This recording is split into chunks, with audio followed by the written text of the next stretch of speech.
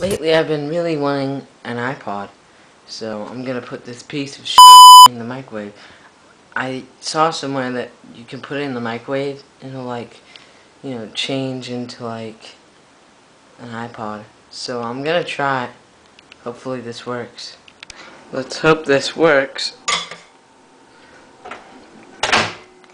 I think a minute should work well enough.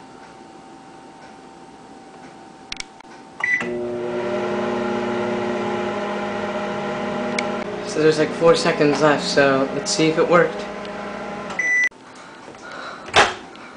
Awesome! Yes! Sweet! I got an iPod, and it's it's 30 gigs too.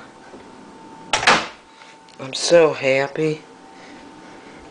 So there you have it. If you want to um if you want an iPod and you have a really shitty one, just put it in the microwave for like a minute.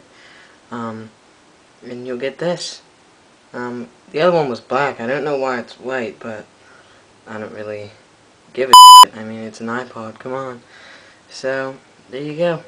Try it at home.